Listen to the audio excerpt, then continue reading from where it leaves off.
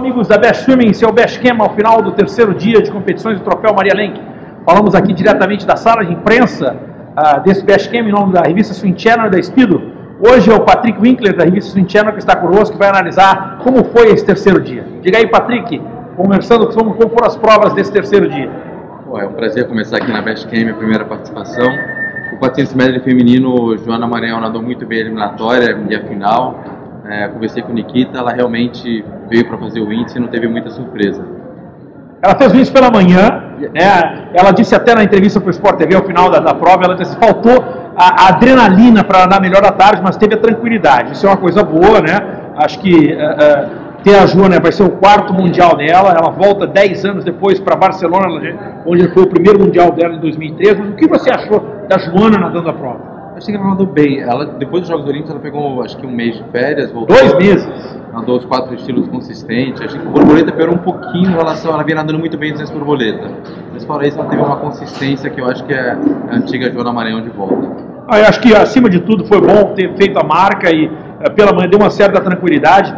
E também gostei porque a, a Júlia Geroto ficou em terceiro lugar, nadou para 4,50, que é uma marca já pelo menos razoável para a natação brasileira. Nós precisamos melhorar nessa prova e aí ajudou. Depois nós tivemos os 400 medley masculino. O Thiago Pereira conquistou pela décima primeira vez o título. Nunca na história da, da natação brasileira um nadador havia sido 11 vezes campeão nacional. Quem sabe foi a última vez que a gente viu o Thiago nadando os 400 medley. Ele nadou muito fácil 400 medley e a vitória já era programada para o Thiago. A disputa pelo segundo pela colocação com o Henrique Rodrigues e o Thiago Simon é, eleva a qualidade do 400 medley. Diferente do 400 livre, hoje o 400 medley é uma prova do Brasil que é, que é evolução, não é uma prova fraca.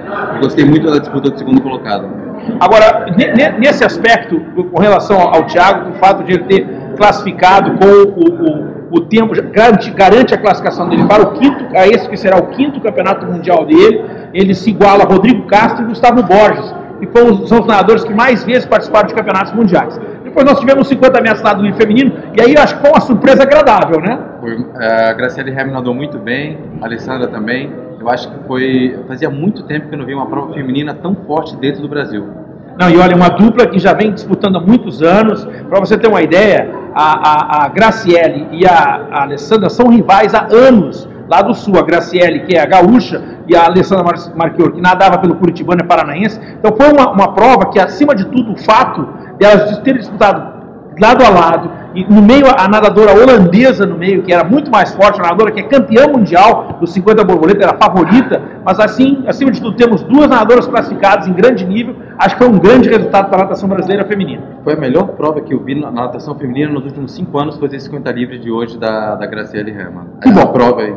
E o 50 livre masculino? E o que aconteceu aí para a gente ter visto não só a classificação, porque acho que o fato do Marcelo Quereguini ter nadado bem, eu acho que já era esperado. Já era esperado. Ele abriu para 22,05 no revezamento na segunda-feira. Hoje, é, abaixo dos 22, 22 segundos pela primeira vez, é, realmente não foi surpresa. Talvez a surpresa fosse ganhar pela primeira vez do Bruno Frauds. Na hora mais importante, né? Bom, o César Cielo é hoje o segundo melhor nadador do mundo na prova dos 50 metros nado livre. E a gente sabe que ainda o o, o, a saída dele ainda não está como deveria estar, exatamente ele sentindo a questão ainda da recuperação da cirurgia dos dois joelhos. Eu, o tempo do Cielo era o esperado. Eu esperava lá na casa de, de 21,57, 21,5, mas a disputa realmente era emocionante com três nadadores pela segunda colocação. Achava que o Bruno ia ficar em segundo, acabou ficando o Marcelo Chereguini. Visualmente da arquibancada chegaram na mesma abraçada, foi o placar eletrônico que decidiu. Achava que ia ser o Bruno, melhor para o Chereguini. Eu acho que se você olhar realmente a chegada, o Bruno chegou na frente, mas quem tocou foi o Chereguini. Eu acho que o Bruno, se você prestar atenção na hora da chegada, o Bruno levanta a cabeça e aí é onde quando entra o Quereguini. A chegada do Quereguini foi melhor. Agora, uh, a, a, se desculpar, não tem desculpa, né? Mas o, o Bruno está sofrendo realmente com a lesão. O, o Bruno teve uma, uma, uma, uma, uma, como é que a gente pode dizer, uma, não uma fratura, mas uma, uma lesão muito grave no seu ombro direito, ocasião é, através de uma, preparação física na Itália, que acabou deixando ele muito tempo fora d'água. O prazo de recuperação é de 6 a 8 semanas e ele está nadando no sacrifício. Talvez o Bruno, minha gente, nem nade sem livre, viu? É, mas eu acho que tem que nadar o sem livre. Tem Você que, acha que teria que tentar? Tem que nadar o sem livre, eu mesmo indo para o sacrifício. É uma, o 4 sem livre precisa ressurgir, ele é uma peça importante e tem que, tem que ir para cima no sem livre. É, eu, eu, acho que eu nessas alturas eu tenho minhas dúvidas. Eu acho que a, a, competição para o Bruno terminou aqui. A impressão que me parece é essa: o Bruno queria entrar no mundial, estava no sacrifício, uh, fez o que pôde, infelizmente não deu. E é um nadador de grande potencial. Já tinha para a gente ter uma ideia sem polir, sem raspar, em fevereiro, andou para 21,78, minha gente. Esse garoto é um garoto de, de ouro, só precisa de recuperação, vai ter mais competições pela frente, a gente tem que ter paciência com isso. E os revezamentos, primeiro 4, diga lá. 800 livre. Ah, os 800 livre feminino, você quer falar dessa prova, você tinha me dito. A Bruna Nakimoto nadou muito bem os 1500, deu para ver que ela não se recuperou do desgaste dos 1500 para os 800. Já a Ana Marcela, que ela nadou, ela até hoje não se recuperou de Cancún, nadou os 1500 mal, e, e, ela, a maneira que ela caiu nos 800, eu estava do lado do técnico dela, o Fernando Pocente, até ele ficou impressionado. Ninguém esperava que ela conseguisse vencer a Poliana hoje, ela tem, pode vencer qualquer dia, mas hoje, e numa prova menor do que o 1500, que é os 800, ela nadou muito bem a Ana Marcela. Detalhe, hein? Para quem não sabe, a Ana Marcela nunca tinha sido campeã do troféu Maria Lenk. Foi hoje pela primeira vez, fez a sua melhor marca e baixou 6 segundos. E os revezamentos? 4 por 200 livre masculino, que surpresa, viu? Eu... Essa eu errei, viu? Eu apostava tudo no Minas, mas o Corinthians, aquela abertura do revezamento pelo Léo de Deus fez diferença. Tem duas coisas que é interessante. O Minas volta e sempre tem o melhor revezamento e acaba perdendo no 4 por 200 é quase que constante. E o Nicolas Oliveira, que tem um talento incrível, ele não é constante.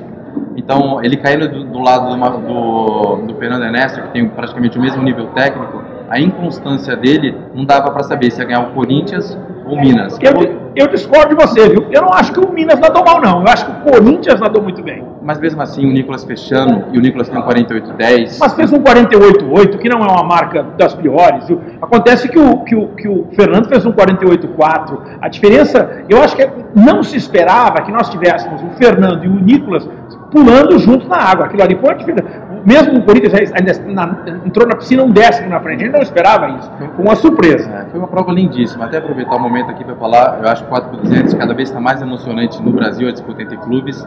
E na minha visão, que acompanha o campeonato australiano e outros campeonatos, não deveria existir 4x50 e só 4x200. e o 4x200 feminino fechou o dia, pelo menos o Minas nadou tranquilo, mas bateu o recorde de campeonato. E um detalhe, as meninas queriam bater o recorde sul-americano, elas queriam andar abaixo do 8,0529, que acabou não acontecendo. 8,09 é uma boa marca, ah, claro que com a ajuda da, da FEM, que conseguiu nadar abaixo de 2 minutos, né, fez 1,58, foi o melhor parcial da equipe, mas o Minas aí ganhou a última prova e lidera a competição até aqui. Vamos fazer a última, última coisa rapidinha. Melhor do dia para você. Vou ter que dividir duas. Duas para natação feminina. Graciele Herman e Ana Marcela Cunha, para mim, foram os destaques do dia. Natação feminina começando a respirar melhor. E eu vou de Marcelo Quereguini. Parabéns aí a todos os nadadores brasileiros classificados para o Campeonato Mundial. Esse foi o Best Camp, em nome da Speed Revista Swim Channel. A gente volta amanhã. Até lá.